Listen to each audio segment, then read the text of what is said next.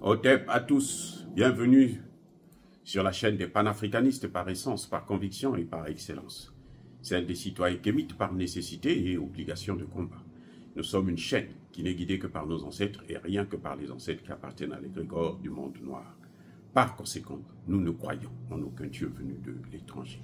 Toutefois, cette vidéo n'est aucunement destinée à inciter à la haine ou à la violence, car nous menons un combat qui est d'abord et avant tout spirituel, intellectuel et démocratique. Ensuite, il est politique, géopolitique et géostratégique contre l'impérialisme, le colonialisme, le néocolonialisme et l'endocolona, qui sont tous qualifiés de crimes contre l'humanité. Nous menons ce combat sur la base du principe fondamental que nous avons hérité de nos ancêtres kémites, qui est celui de la Mahat, c'est-à-dire solidarité, vérité et justice. Vous êtes donc en droit de connaître la vérité et nous avons l'obligation de vous dire la vérité, rien que la vérité, afin que justice soit rendue au continent africain. Et ça, c'est notre modeste contribution dans cette noble lutte en faveur de la souveraineté, la dignité, la solidarité et l'unité africaine. C'est exactement ça que nous appelons le panafricanisme. Bien-aimés frères et sœurs, je persiste et je signe. Le président Denis Sassou Nguesso du Congo-Brazzaville commet la plus grave erreur de sa vie. Celle de ne pas soutenir le président Tshisekedi. Celle de ne pas condamner Paul Kagame. Je dis, c'est la plus grave erreur que le président Denis Sassou Nguesso commet de toute sa, sa vie d'homme politique. C'est celle-là. Il sortirait plus grand, et très grand même, que ce soit au Congo-Brazzaville et au Congo-Kinshasa, en condamnant ouvertement Paul Kagame. Je suis docteur en sciences politiques. C'est ma spécialité. Je dis ce que je pense, ce que je crois être vrai, ce que je crois être bon surtout pour nos peuples. Vous savez, Tshisekedi aujourd'hui est pratiquement en train de se battre seul contre tous. Et oui, seul contre tous. Vous avez un peu le, président euh, qui est en train de... Mais, euh, euh, euh, vous savez, qui essaie de, se rapprocher, de l'encourager, de le soutenir. Mais Ndaïchimiye, le président Bagaza, Jean-Baptiste Bagaza, avait déjà expliqué pourquoi le Burundi soutient le Congo par intérêt. Vous comprenez? Ce n'est pas la même chose que le Congo-Brazzaville. Mobutu est mort. Laurent Désiré Kabila est mort.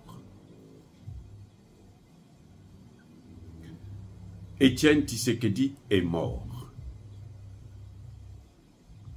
Qui est maintenant le père de Tshisekedi? C'est Sassou.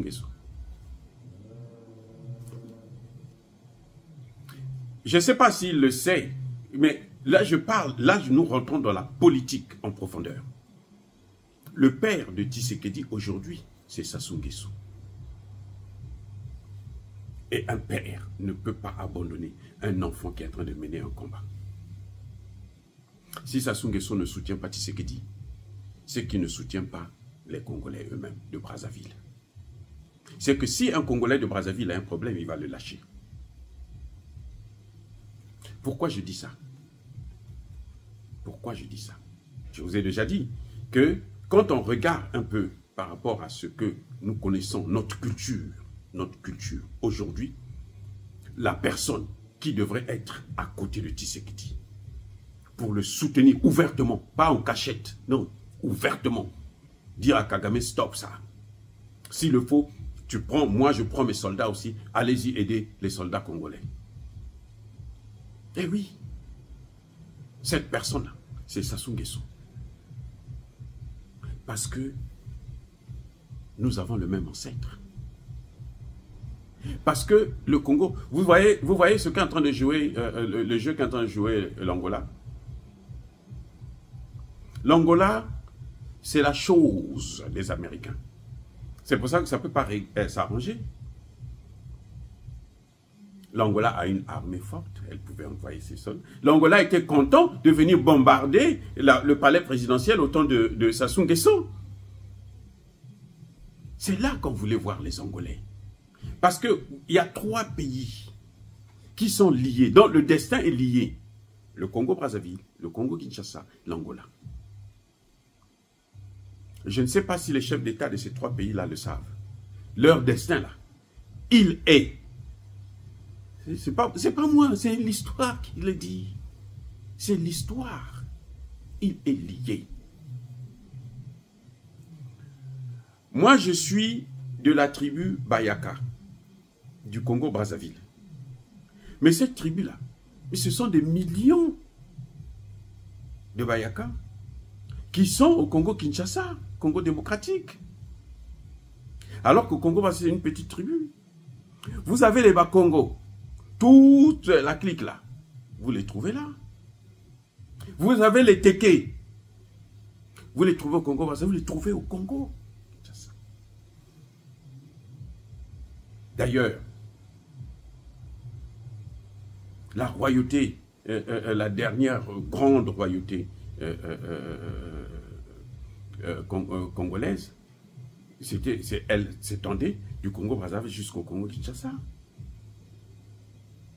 Donc, si nous regardons cette histoire, nous regardons nos origines. Sassou comme je disais tantôt, est le père de Tshisekedi. De même que Sassou Nguesso est mon père à moi, étant congolais, de même Tshisekedi est son père. Et plutôt son fils. Donc si lui ne reconnaît pas Tshisekedi, donc il ne peut pas nous reconnaître nous autres là. Il ne peut pas nous reconnaître aussi. Même si on est du Congo-Brazzaville. Parce que lui, ses enfants, ce sont ses enfants biologiques. Alors ça, c'est une, euh, euh, philosophie, mais alors très limitée, qui euh, euh, euh, qui ne se justifie pas, qui ne peut pas être admise pour un homme de cette envergure. Quand on est un chef d'État, surtout qui est resté longtemps au pouvoir comme Sassou Nguesso, qui a connu Mobutu, qui a connu Laurent Désiré Kabila, qui a connu Étienne Tshisekedi, on ne peut pas avoir ce genre de pensée ridicule.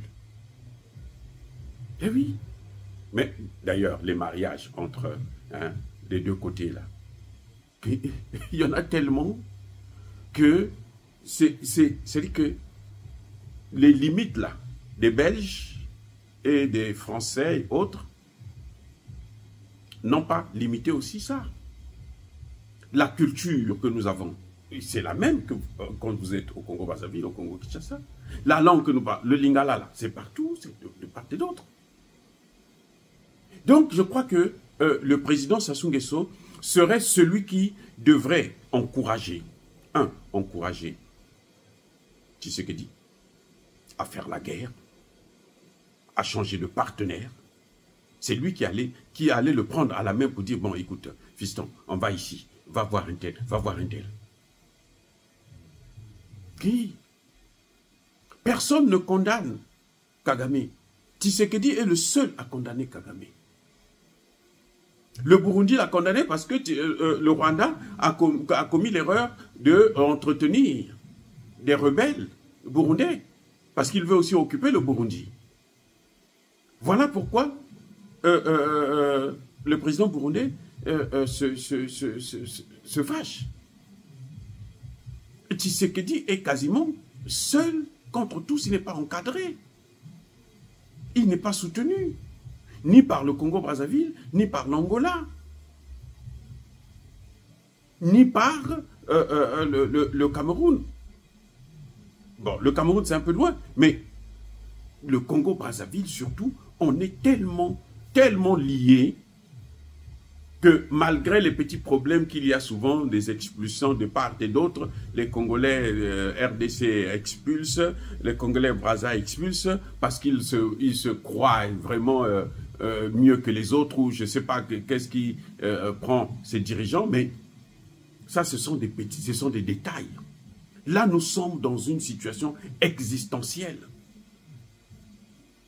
Et on sait aujourd'hui que comme disait Lumumba, le Congo, c'est le cœur de l'Afrique.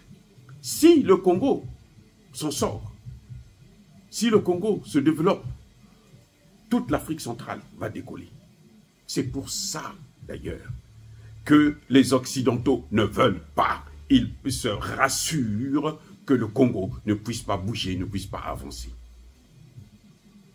J'ai dit, c'est pour ça.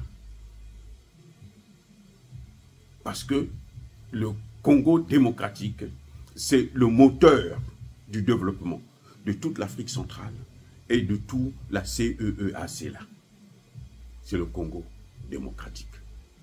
Tant que la guerre là va continuer, tant que le Rwanda va continuer à s'agiter, parce que je dis s'agite puisqu'il ne prendra pas le Congo, ça c'est clair. Mais ça va nous coûter encore plus de morts, on est déjà à 18 millions de morts. Tant que le Congo ne va pas s'en sortir, vous allez voir les difficultés que nous allons avoir. Dieu a créé ces États avec chacun une mission. Celle du Congo démocratique, c'est de s'en sortir pour tirer les autres vers le haut. Et si il y a des dirigeants de l'Afrique centrale qui l'ont compris, alors il est temps de changer vos positions. Ce que fait Kagame, ce n'est pas normal. Ça, personne ne peut l'admettre. Et ça ne se négocie pas. Je suis d'accord avec le président Tshisekedi qui refuse de négocier avec Kagame. Je suis tout à fait d'accord avec lui.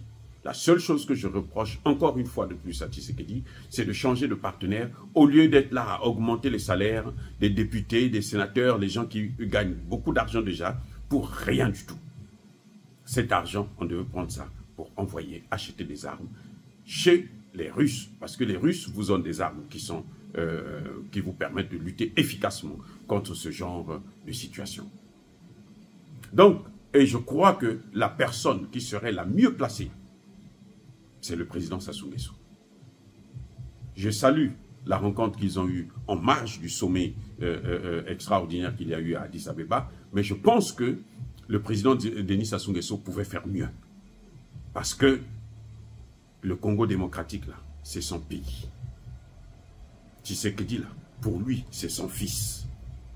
Et s'il le considère vraiment comme étant son fils, selon notre tradition africaine, il peut faire mieux et il doit, il a lui-même l'obligation de faire mieux que ce qu'il est en train de faire. Oh, dire cela, c'est citer à la haine ou à la violence. Non, Yaba, colère, Yamalembe. Encore une fois de plus, bien-aimés frères et sœurs, soyez bénis, soyez abondamment bénis par le Dieu des Kémites et par nos ancêtres angélisés. Mais que tous ceux qui persécutent le continent africain, le pillent et le déstabilisent, qu'ils soient noirs, blancs, chinois, arabes, juifs, indiens ou qui qu'ils soient, qu'ils soient punis, maudits, foudroyé, neutralisé, écrasé, effacé par le Dieu des Kémites et par nos ancêtres angélisés. Vive l'Afrique éternelle, j'ai dit et j'assume.